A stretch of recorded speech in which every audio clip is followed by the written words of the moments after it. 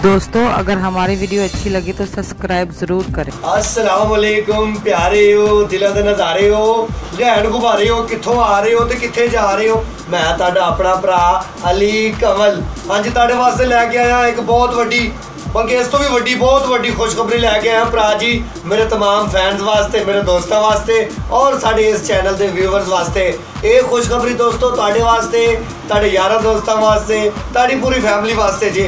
ਅਸੀਂ ਲੈ ਕੇ ਆਏ ਹਾਂ ਇੱਕ ਨਵਾਂ ਚੈਨਲ ਅਸੀਂ ਲਾਂਚ ਕੀਤਾ ਜਨਾਬ, ਜਿਹਦਾ ਨਾਮ ਹੈ AMTV ਹਾਂਜੀ, ਤੁਸੀਂ ਪੀਟੀਵੀ ਵੇਖਿਆ ਹੋਵੇਗਾ ਪੀਟੀਵੀ ਸਪੋਰਟ ਵੀ ਵੇਖਿਆ ਹੋਵੇਗਾ ਪਰ AMTV ਤੁਸੀਂ ਨਹੀਂ ਵੇਖਿਆ। ਤੁਸੀਂ ਵੇਖੋਗੇ ਤੇ ਵੇਖਦੇ ਹੀ ਰਹਿ ਜਾਓਗੇ। ਹਾਂਜੀ, ਇਹਨੂੰ ਤੁਸੀਂ ਸਭ ਤੋਂ ਪਹਿਲੇ ਸਬਸਕ੍ਰਾਈਬ ਕਰਨਾ ਹੈ, ਉਸ ਤੋਂ ਬਾਅਦ ਤੁਸੀਂ ਟਨ ਟਨ ਕਰਕੇ ਬੈਲ ਆਈਕਨ ਦਬਾਉਣਾ ਹੈ। ਜਦੋਂ ਟਨ ਹੋ ਜਾਵੇ, ਐਵੇਂ ਸਮਝੋ ਡਨ ਹੋ ਗਿਆ।